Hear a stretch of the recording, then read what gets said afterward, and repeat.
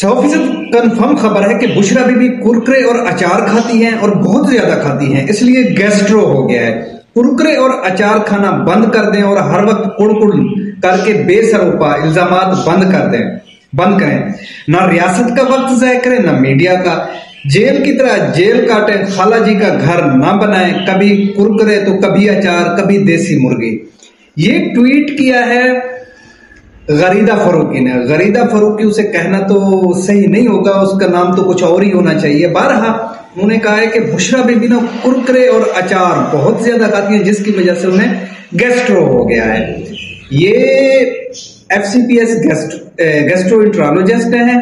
اور اس کے علاوہ یہ جو نا ہیپیٹو بیلری سرجن بھی ہیں، یہ جو غریدہ فروکی ہیں، اس لیے اسے پراپرلی پتا ہے کہ یہ جو پیپٹک السر ہے، یہ جو گیسٹرائٹس ہے یا جو میدے کا انفیکشن چل رہا ہے بشرا بی بی کو، وہ کرکرے اور اچار کھانے کی وجہ سے ہو گیا ہے۔ یہ صحافی کم اور جو ہے نا کسی جماعت کی ریپریزنٹیٹو زیادہ لگتی ہے صحافی بن کے کچھ تجزیہ کریں۔ صحافی بن کے بتائیں کہ یہ کون سی کتاب میں لکھا ہوا ہے کہ کرکرے اور اچار کھانے سے جو نا یہ گیسٹرائٹس ہو جاتا ہے۔ جب اس کے اینڈوسکوپی کی گئی تو پھر وہاں پہ کچھ رپورٹ جو فائنڈنگ ہے وہ سامنے آئی وہ تو ڈاکٹر ہی کوئی بہتر بتا سکتا ہے کیا ہے، کیوں ہے، کس وجہ سے ہے۔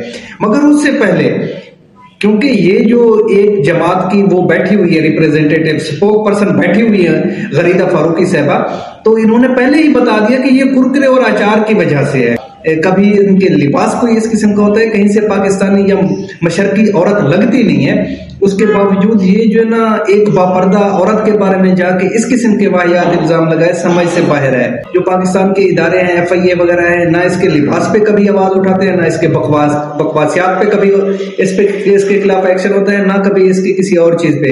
اس قسم کے عورتوں کو چھٹی دے کر تو ظاہر سی بات ہے، اس جنریشن کو تباہ کرنے والی بات ہے۔ حق تو یہ بنتا تھا کہ یہ اپنے ساتھ کسی گیسٹرو انٹرالوجسٹ کو بٹھا کے اس سے پوچھتا کہ یہ ہے کیا؟ یہ جو فائنڈنگ ہے، ان میں کیا لکھا ہوا ہے اور یہ کس وجہ سے ہوتے ہیں؟ لیکن نہیں، ضرورت نہیں ہے نا، کیونکہ وہ خود ایف سی پی ایس بھی تو ہے نا۔ اس لیے جو ہے نا، اس قسم کے عورتوں سے بندہ جو ہے نا، ویسے بھی جو عورتیں ہوتے ہیں، ان کے فساد سے انسانوں کو محفوظ رکھے۔ اس قسم کی عورتوں کی فساد سے تو پاکستان کو اسپیشلی محفوظ رکھے، لیکن پاکستان اس وقت محفوظ ہے نہیں۔